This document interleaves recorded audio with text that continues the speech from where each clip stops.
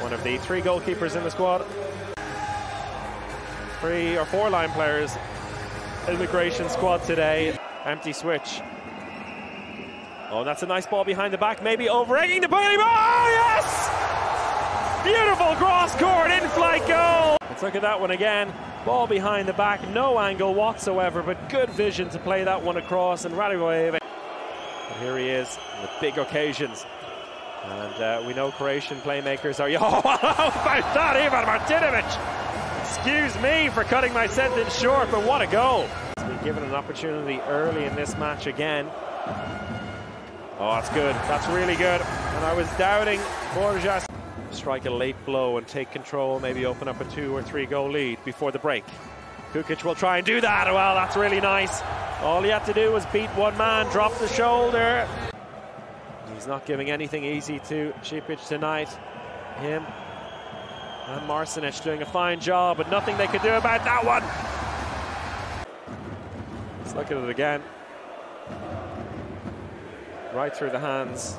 Just up for passive play. A shot is going to have to come in here. No, they don't get a shot away. It's a turnover. Too many passes. And away comes Cindrić. Bottom left-hand corner. Two-goal lead. Lucas Cindrić again. With two counter-attacks. And with eight seconds left in the half, Serbia need a goal here. Borzaš does the rest. 11-10. Quick response by Martinovic, and they needed that one. Radovic waiting in the center. Kukic goes alone, though. Lazar Kukic again, stepping up to the mark. And is up for passive play now. Gonna have to get going here. Cindrić does exactly that, but the shot is right at Cupara. Lazar Kukic looks to find some space and could have been an attacker foul. He gives the ball away though, and a counter-attacking opportunity for Croatia. Oh, good save, Cupara.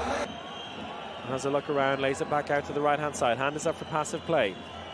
To Lucin, and it's saved by Cupara out over the end line. It's Lucin again. He's definitely my player of the match as well. There's a lot of options in this Croatian team. I'm not going to commit too early. But he's definitely one of the three. In-flight shot, put in. Four goal game with a minute left to play.